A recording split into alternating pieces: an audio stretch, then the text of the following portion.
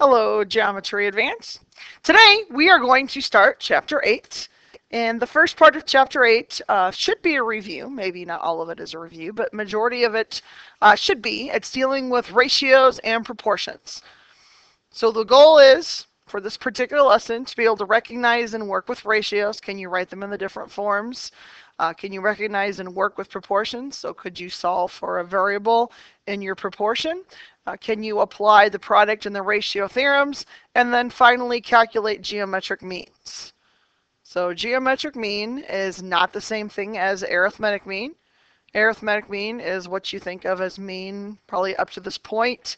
Another word for mean, remember, is average. So again, geometric mean, out of all the things for today, this probably would be the new part for you. Okay, so let's start with ratio. Okay, the definition of a ratio is a quotient of two numbers. Technically, it could be two or more numbers, but a lot of times we talk about it in terms of two. So ratio, again, is a quotient of two numbers. Um, there are different ways that you can write a ratio. Okay, as you can see here, we can write it as a fraction 3 fourths, 3 to 4. We can write it as 3 to 4 this way.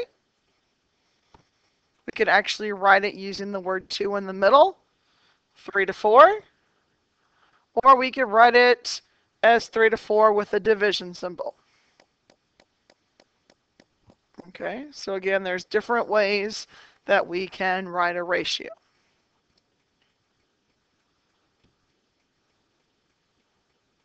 Now, in a ratio, the first number is considered the numerator. So that makes sense. The second number is the denominator. And you want to write it in lowest terms unless it's otherwise stated in the problem. So let's pretend that my ratio was 2 to 4. We would want to simplify that since 2 and 4 both have a common factor of 2 that should be a 1 to 2 ratio. So again, remember to simplify your ratio in lowest terms unless it's stated otherwise. Okay, so as we're talking about ratio in Algebra 1, when you're talking about a ratio, that how that applies to Algebra 1 many times is talking about slope. Uh, so next, let's see here if my board works. I did orient it earlier.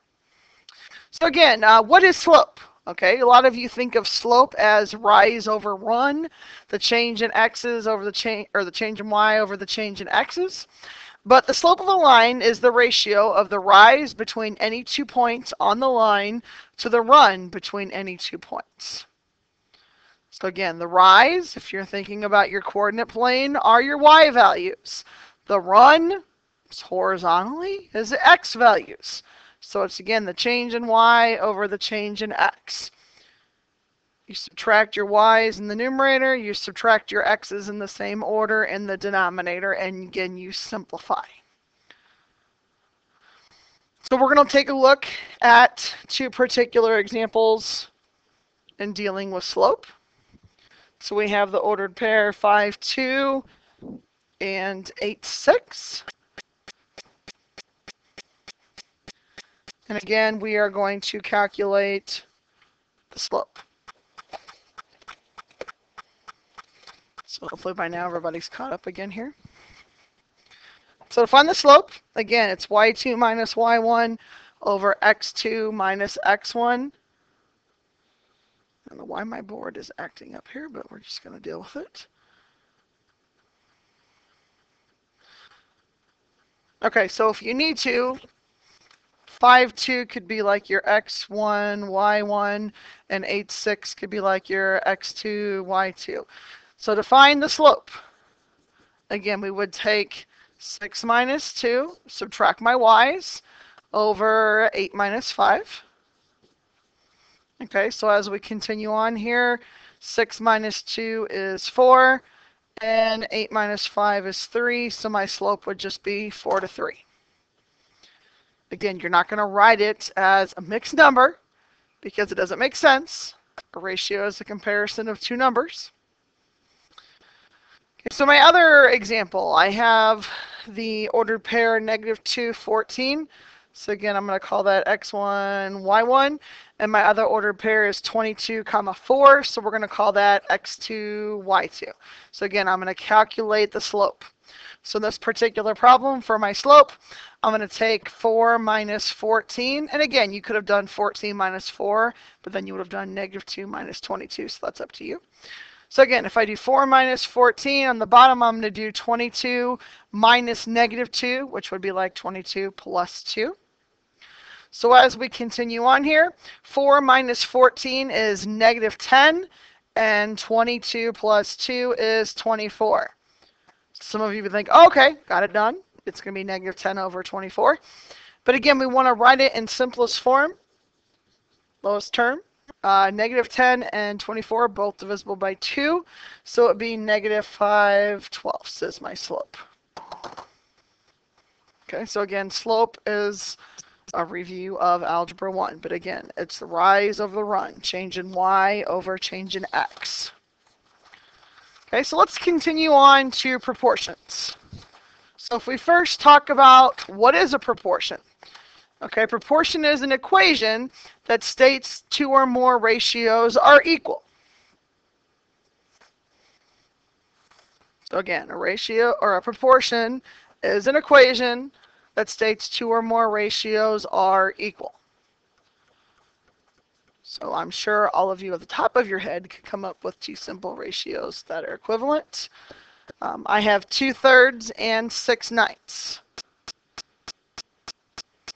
Okay, 2 thirds and 6 ninths, hopefully everybody agree, is equal. Another way to write it, again, 2 to 3 is equal to 6 to 9.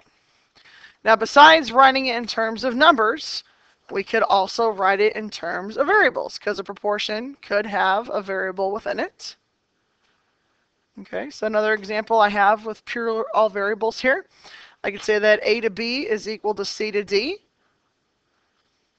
And again, another way to write it would be like that. A to B equals C to D. A lot of times in past experience, if people see a problem that's written in this form, a lot of times they want to write it in fraction form just because it's something they're more used to seeing. It's easier to deal with, and that's fine as well. But again, those are two different ways uh, to write a proportion.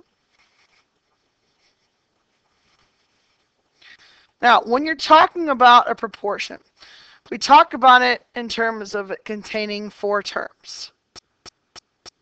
Okay, you have the first, second, third, and fourth if you go in order. The first and second, or I'm sorry, the first and fourth terms are called your extremes. And your second and third terms are called your means. So again, if we would order them, first, second, third, fourth, A would be first, B would be second, C would be third, and D would be fourth. Okay, so again, your first and fourth terms are called your extremes.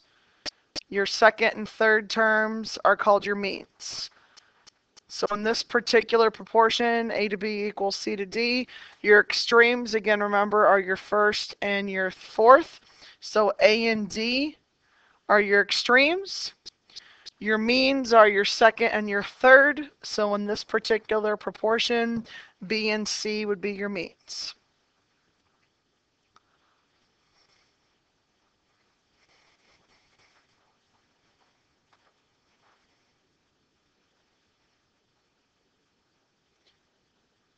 Okay, so again, first and fourth are your extremes, second and third are your means. Now we have the means extremes products theorem. Okay, a lot of you, this is what you would think of just how you solve a proportion when you do cross products. And the reason we can do that is because of this means extremes products theorem. So in a proportion, the product of the means is equal to the product of the extremes. So when, if you look back at the example that I still have on the board here, A and D are your extremes, B and C are your means. So the product of the means is equal to the product of the extremes. So I could say that B times C is equal to A times D. So again, a lot of you maybe think of it in terms of cross products. But again, A times D, your extremes, that product is equal to B times C, the product of the means. And again, that's what we normally think of as solving a proportion, doing these cross products.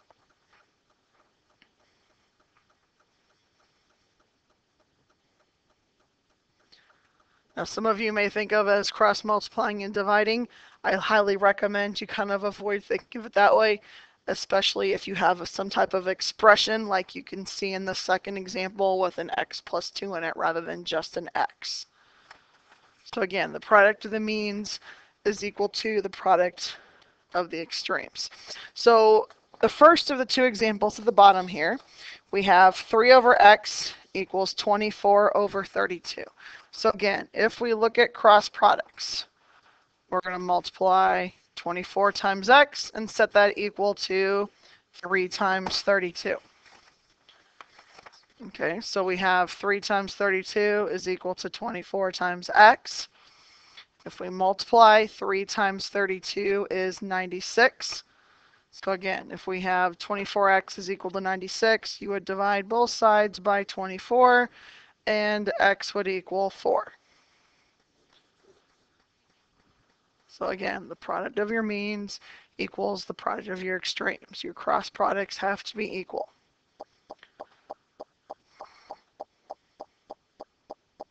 Okay, in the second example, we have 3 over 8 equals 5 over x plus 2.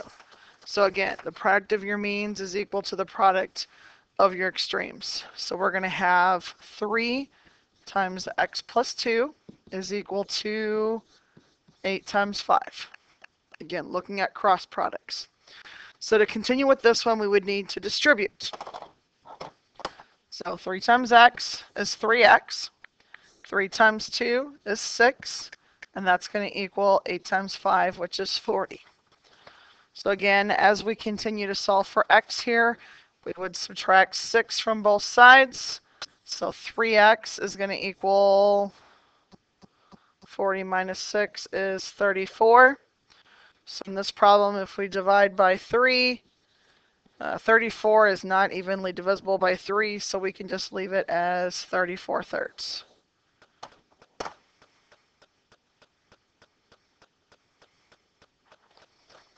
It is okay to have a fraction.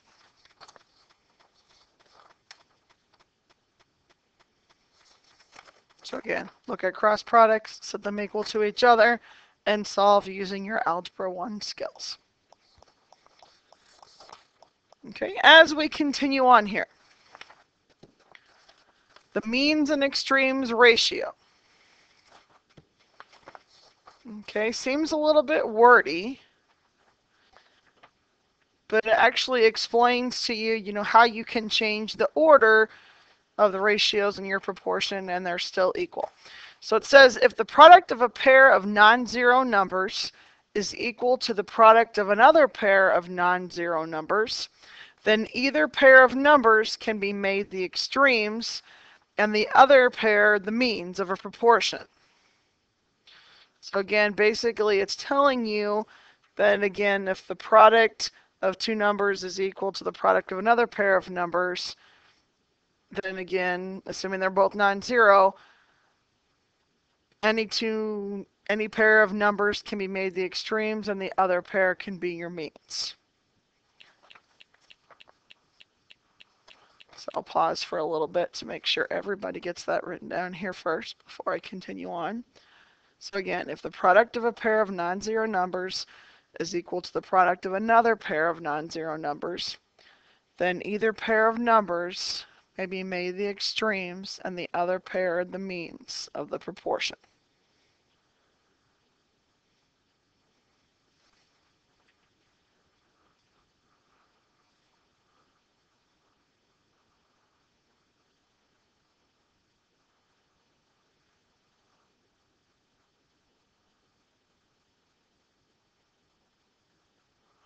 So in the example here, we're given that GE is equal to OM.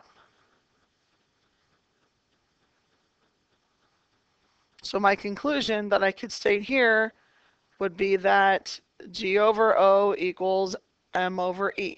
So again, GE in this particular picture, here, highlighter. So my G and my E, notice here are your extremes. And in this situation, the M and the O here are your means. So again, the G and the E can switch places. The O and the M could switch places. So because of that, since I can switch places, if we look at another conclusion we can come up with,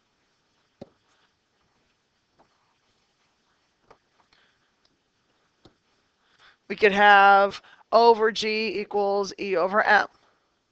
So in this situation, O and M are the extremes, and G and E are the means. But again, when you look at their cross products, you're still going to get G times E equals O times M.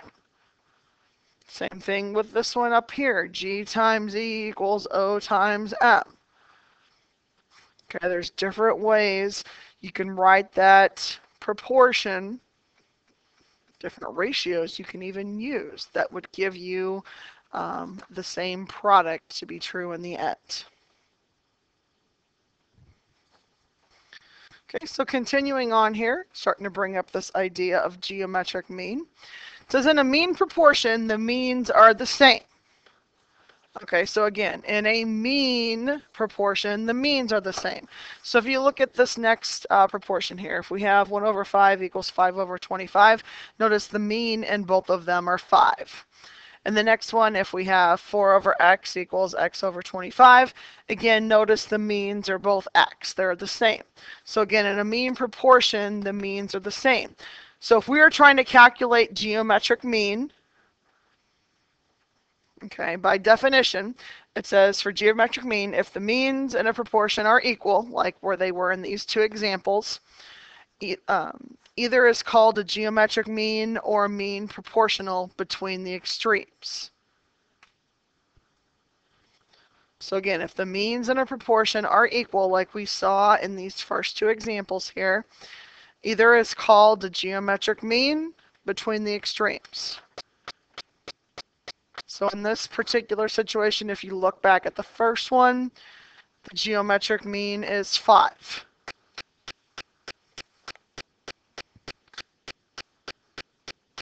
Okay, and the second one, the geometric mean is x. Okay, because again, the means are the same. They're both 5 in this first case, so the geometric mean is 5. And the second one, the, geomet the means are both x, so the geometric mean is x. So again, if your means are equal in a proportion, then either one of them, because they are the same, either one of them is called the geometric mean between the extremes.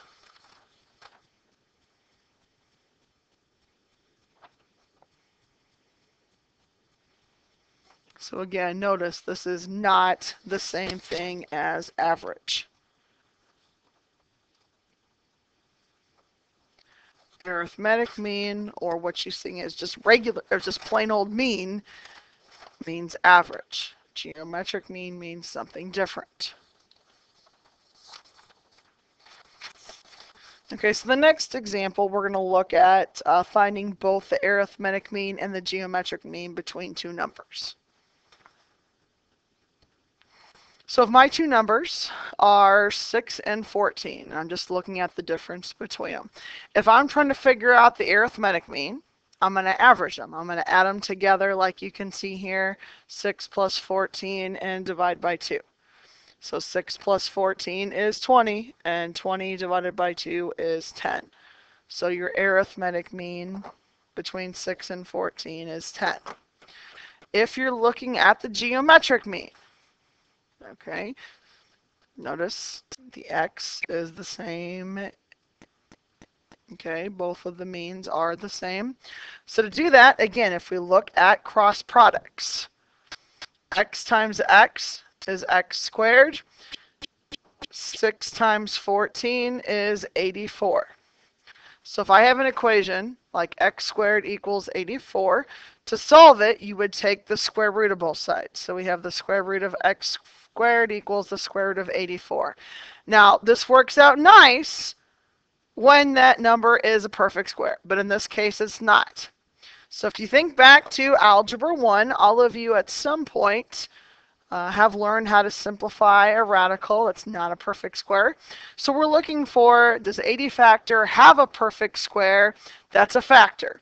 What I mean by that, think of numbers that are perfect squares, like 2 squared is 4. Uh, 3 squared is 9, 4 squared is 16, 5 squared is 25, etc.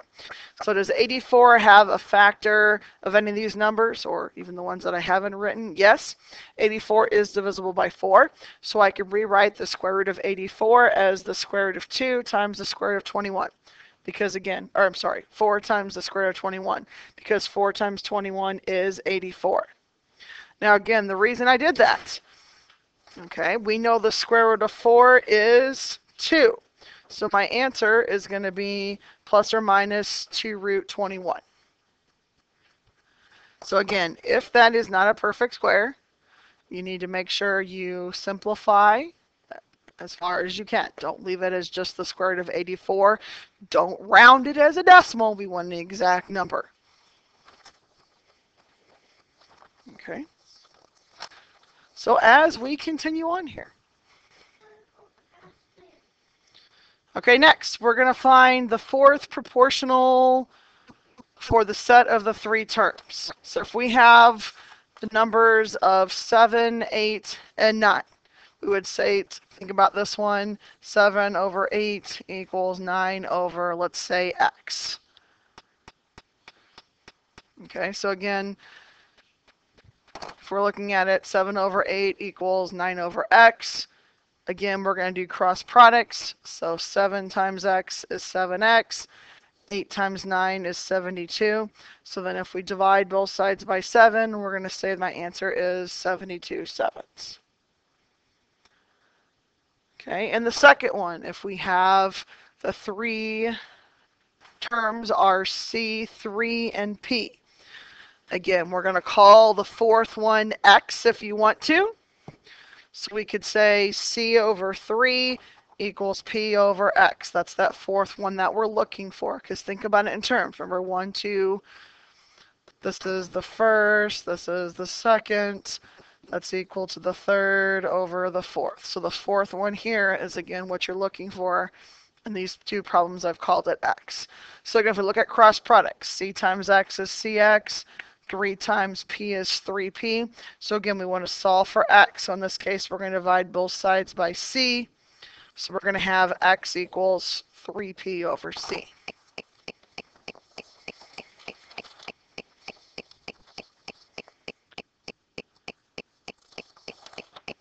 So again, notice everything we've been doing today is they're dealing with ratios or proportions. So to finish things up here, we're going to practice a few examples where we want to find the ratio of x to y. Okay, so if I have 5x equals 2y, I want to know what x to y is going to be. Okay, so to do that, we're going to divide, again, I want x over y on the left side and y, or on the constants on the other sides. So to get x on this side by itself, we're going to divide both sides by 5. And to get rid of y on the right side, we're going to divide both sides by y. Okay, so notice my y's are going to cancel out on the right side, and the 5's are going to cancel out on the left side. So we're going to end up with x to y is equal to 2 to 5.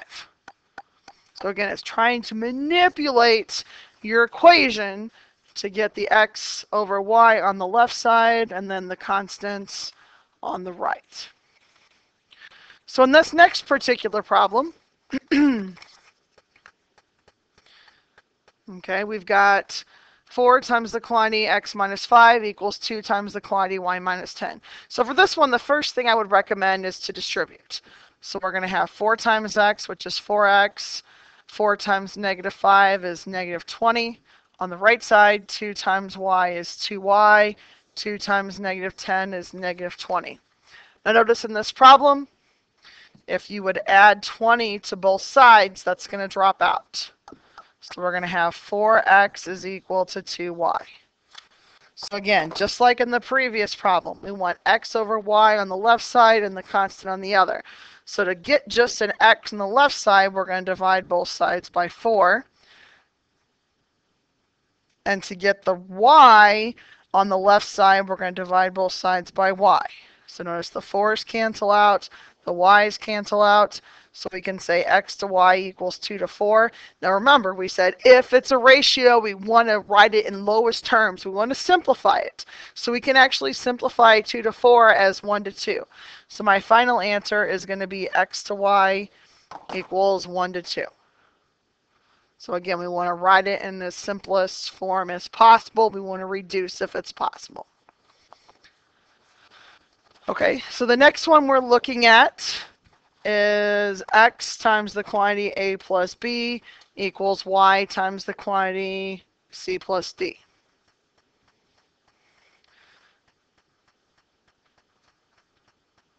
Okay, now for this one.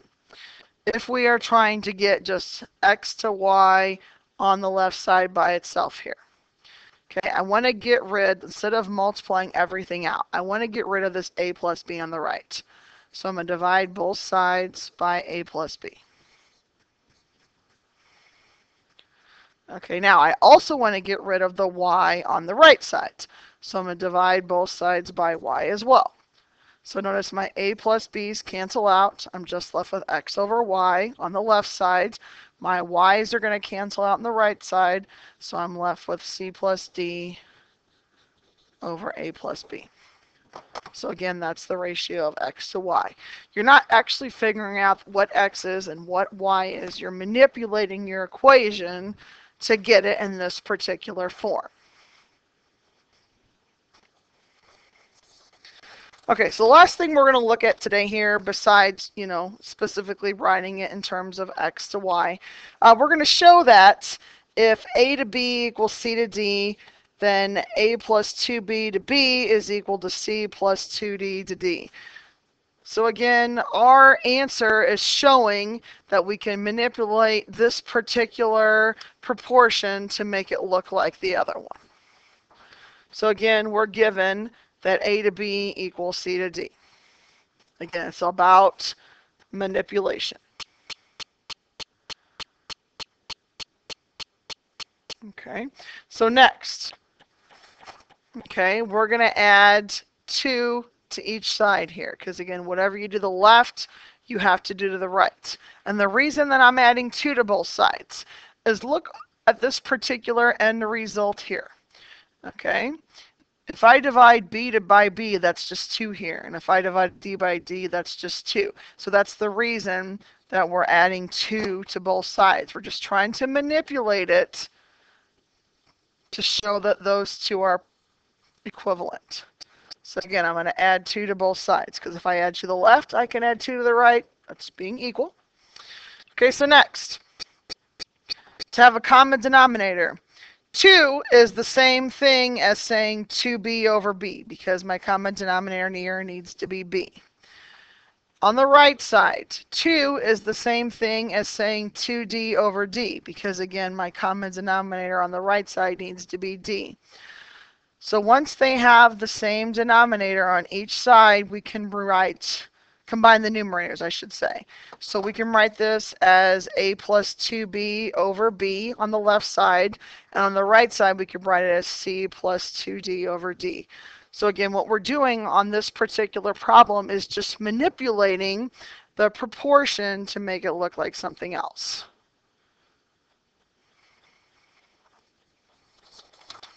So we're going to have this particular lesson as a two-day assignment.